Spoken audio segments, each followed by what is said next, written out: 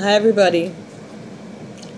I'm coming today to um, share a new project that I'm working on and I hope that you'll find interesting and that you'll want to participate in. And those of you who know me know that I read tarot cards. I've been doing it for over 20 years for myself and my family and my friends and for my clients. But it's come to the point now where I have been led that I need to share this particular gift with more people and not just the circle. I need to expand our community and get what we need to get. So the way it works is you submit a name to me, uh, birthday, hopefully, uh, as much information as you may have about uh, an ancestor who's already passed over. And what I will do is do the research, uh, fill in whatever holes that are missing in the story, and then get back to you and do the reading for that particular relative. Those messages are messages that I'll be sharing with the community at large. At the same time, of course, I still do regular tarot readings, um, either in person or by video, um, maybe Skype, uh, if I would learn how to set these things up. But I would like to also offer those services um, for you. And of course, I wouldn't be, um, we wouldn't be sharing that with the uh, community unless you felt that the message that was received was something that needed to be uh, shared with the rest of the family. So, those personal readings will be private, but the readings that are being done for the ancestors will not be private.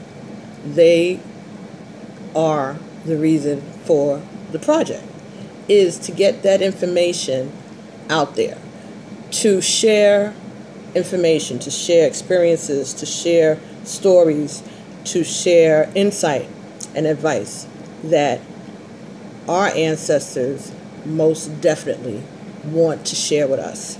And now they're going to be able to do that. I'm speaking primarily to those of us who are descendants of those who have been enslaved, um, those who had to deal with the indignities and the horrors of the Holocaust that was foisted upon the peoples of Africa. And uh, there are bonds that were broken, and there are people that we lost contact with, um, tribes that were broken up, families that were broken up. We all know the stories. So, right now, we want to know the other stories personal, day to day stories. We also want to give those ancestors a chance to impart their wisdom that we can apply to ourselves today. And that wisdom is not only for their uh, children or children's children, not just for their descendants, but also messages for all of us. And we can all learn something. Once we start to uh, see that they're here and realize that they're helping us and guiding us, blessing us, embracing us, protecting us, then we can know that we have the right to go forward. We have to stand up in our truth and know who we are.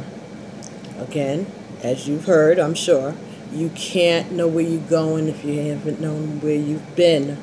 And our ancestors know where we've been, they know even where we're going, but they want us to live our best lives. And we can't live our best lives if we aren't getting the advice that we need. We're going through unnecessary conflicts, unnecessary worries, and not turning to the spiritual guides, and the faith that is innate in, within our community.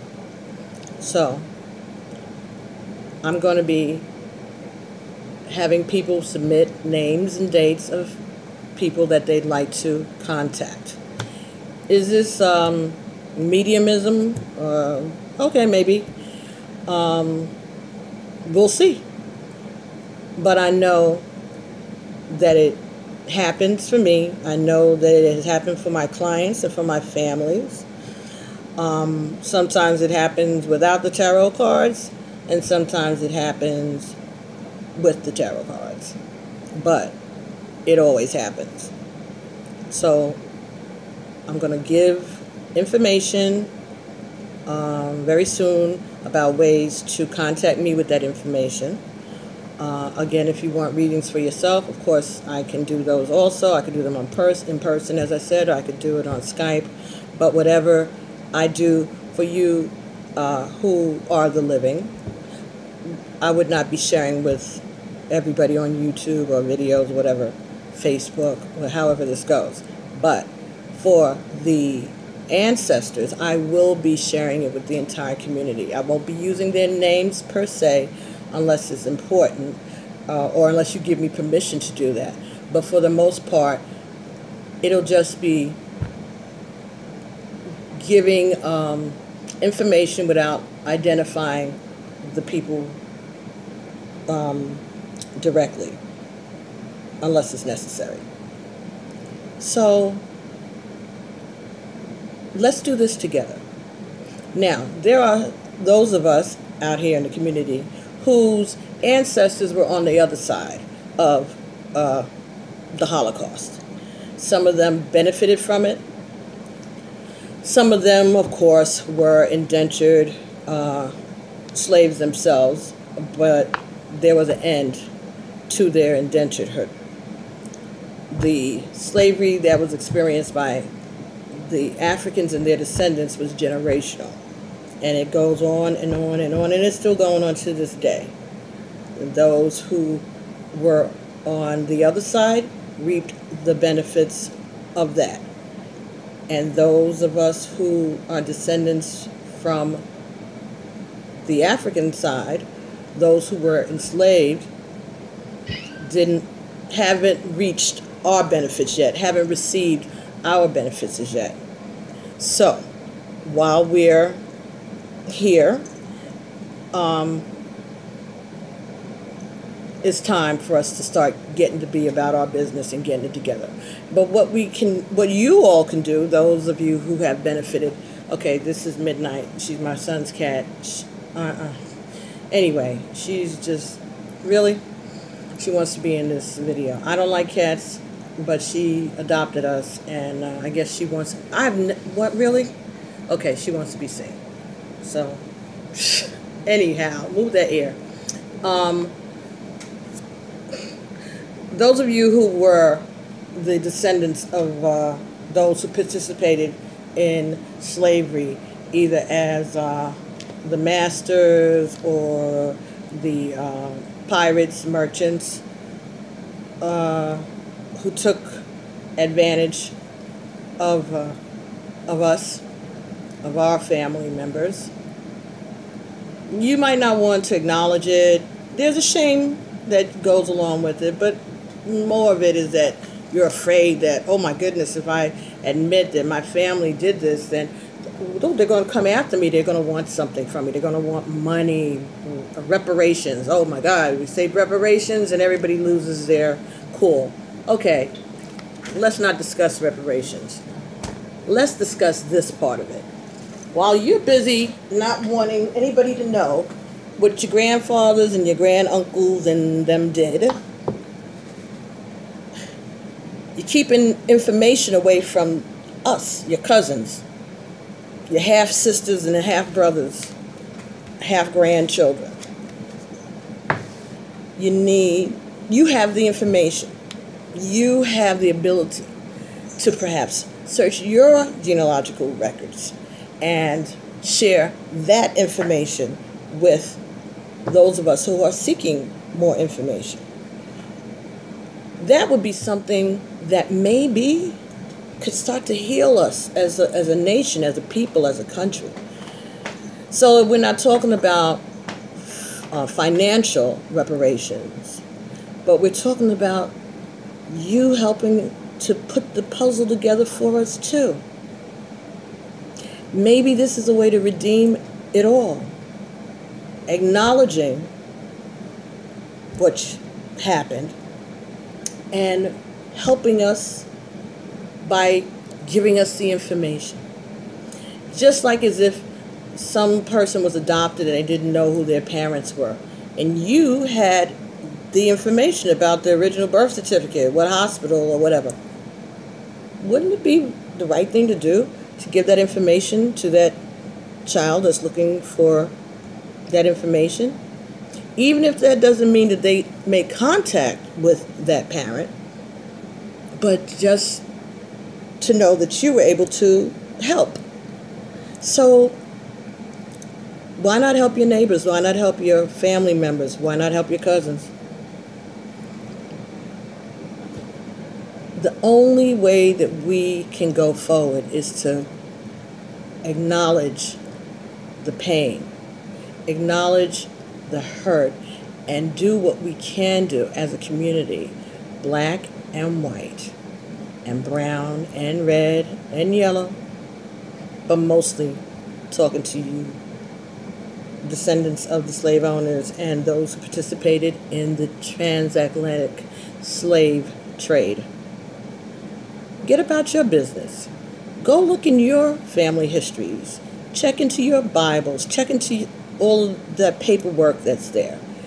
Find out if there's any way to know who your families, who your grandparents, great, great, great, great grandparents, who were those people who lived on their property and who served them and who worked for them for free with no pay, who were their slaves.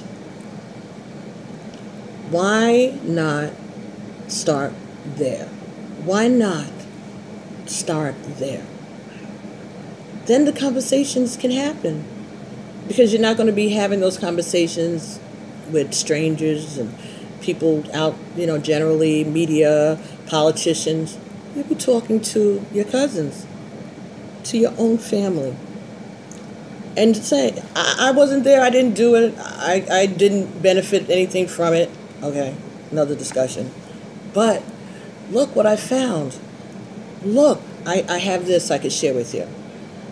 And you can do that. It, you can cipher the information through me, through through the company that we're going to develop to do all to handle all of these things, to get information from point A to point B. We'll even find a way to do it if you don't want to personally identify yourself with that.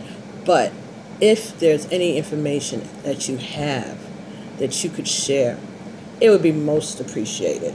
There are families that don't know where they started. There are families that just reach a wall when they're trying to do the genealogy. Some families, you know, can go all the way back to, you know, France and England and Ireland and, and Spain and, you know, all these wonderful, wonderful, wonderful stories. We don't have that. And that is part of the problem. And it's not just our problem because it becomes your problem eventually. So I'm going to be here to give you assistance also on how to help. Help us put together our picture. Help families put together that puzzle. Not gonna cost you anything but maybe some time. Um, but it would be so much appreciated. And it will be so helpful for us generally as a nation. We have to stick together. There's some rough stuff going on these days. And we have to stand up and say, no, this is who we are. Yes, we're not perfect. Yes, we've done ugly things. Yes, we are not always right. But individually, we're good and we can be good. and we can do things for good. So, those of you who have access to the information about um, plantation owners and um, those people, uh, merchants, things like that, ship owners, any records that you can get together and you want to would like to share, I'll be more than happy to to get that information from you and to see if we can forward it to the people who would benefit from that. Now, back to the main project. The main project is helping our ancestors to tell us their stories. And the way we're going to do that is by um, getting the names, as much information as we can. I'll do as much research as uh, is necessary until I come to a, where I can't get any more. And at that point, I'll contact you, let you know what I found, and we'll do the reading, and the reading will be shared with the public.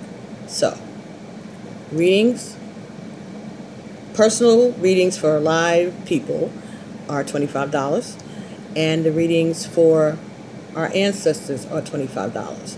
And that is to cover the cost and time of the research that it may take for me to verify that this is the person that you want us to check.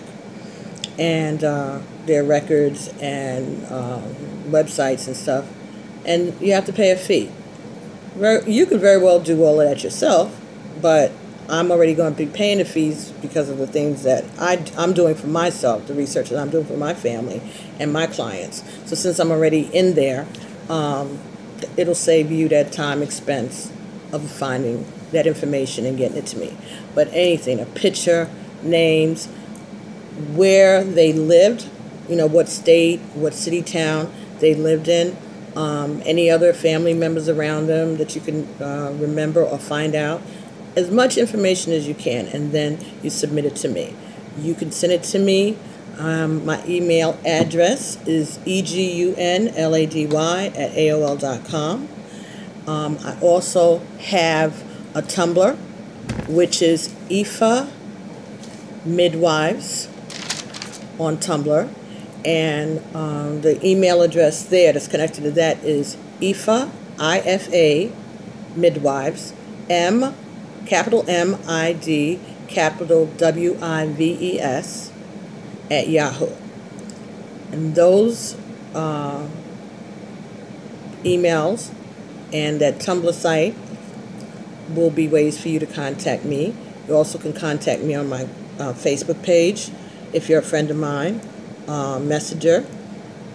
Also on the Our Stories Continues page, uh, which is the blog that I've been doing over the last couple of years. Just um, getting things off my chest, and talking about things that I've come in contact with, people I've come in contact with, things that I like, songs and whatever. So you can always uh, drop uh, uh, a line there, and uh, I'll get a notebook. I'll get a notification from Facebook uh, when that happens and I'm going to put up a YouTube uh, page also. Um, as soon as I get that together, then you'll be able to view uh, the videos as we do them. In the meantime, when I'm waiting for um, submissions, I'll be talking about Yoruba, and I'll be talking about ancestral veneration respecting our, our, our ancestors, what the things are that we could do, little things that we could do.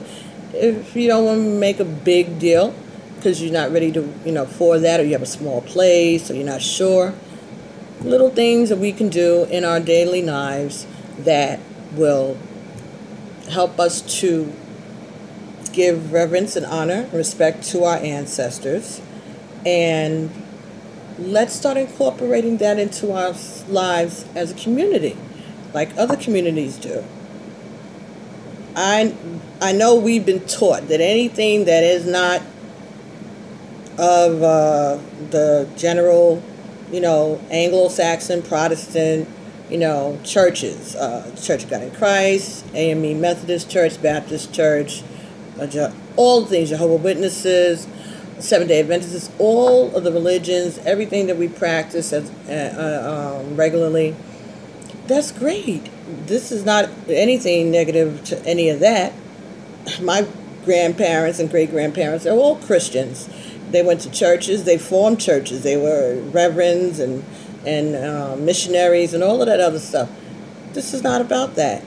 This is this is not about um, putting down any of that because if we didn't have that, if, if our grandparents and great grandparents, our ancestors didn't have Christianity or Islam or whatever to hold on to and get them through, we wouldn't be here today.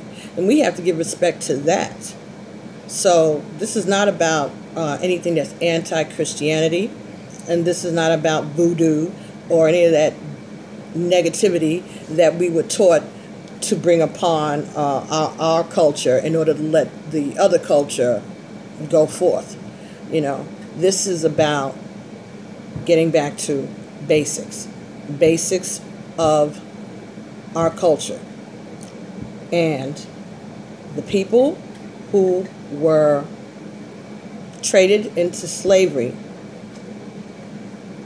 were from West Africa, and those countries practice Ifa, Yoruba, those type of religions that not only had uh, Orisha, or saints, or deities, another discussion, that they uh, went to with their petitions, things in nature, earth. They also have reverence for the dead, reverence for their Egun. So, we're going to get started on this journey, folks. And I, I'm looking forward to it.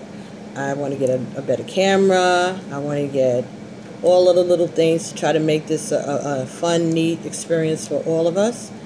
But we got to get started. So, excuse any unprofessionalism that I may have displayed during this video. Like I said, I'm nervous. I want to do a good job for you guys. I want to help us make those connections. I love my family. I love our community. I love our people. And I want so badly to help us so that we can grow and go further. Because it's our time. It's our time. I really, really, really appreciate those of you who have been so encouraging to me. Um, my parents, my mother, my siblings, um, my hairdresser, Monique, who did a fabulous job on me today. Y'all see how cute am I? Monique is uh, in Baldwin on Grand Avenue, and she's doing a fabulous job. She always does a fabulous job for me. I've been very blessed to find really nice uh, hair stylist over the years. So, um, but she's been very encouraging to me also. So I want us to kick off the next um, phase of our journey. And we're going to get this stuff together and see what we can find and see where it leads because I'm going on this journey with you. Nothing's pre-made, nothing's pre-packaged. I'll do the readings on camera if I can, and if I can't, I'll do them off camera, but I'll definitely uh, share with you as much as I can. And, and it'll be fun, it'll be funny, it'll be moving. Um, but I know it'll be a blessing. It, it, it has to be. Because it's blessed me. Just knowing that God has given me this gift. It's, it's, it's, it's, it's a thrill. It really is. So in the meantime, like I said, I'll be posting videos of just little things that um, I do, uh, little information that needs to be shared. And we'll see where it goes. Okay? So, like I said, hit me up. The messenger on Facebook at my AOL address, egunlady at AOL.com. Uh, Yahoo, IFA Midwives, I-F-A M I D, capital W I V E S. So I is capital, F A, M is capital, I D, W is capital, Wives, W I V E S, at Yahoo. And like I said, Tumblr, um, E for Midwives on Tumblr. And Facebook and YouTube. You'll see me around. But contact me through those contact numbers. And uh, we'll see where this journey takes us. Because our stories continue. All right. I love you all. And thank you so much. And thank you to the Creator for this gift. And thank you to the ancestors for this opportunity. Peace. Ashe.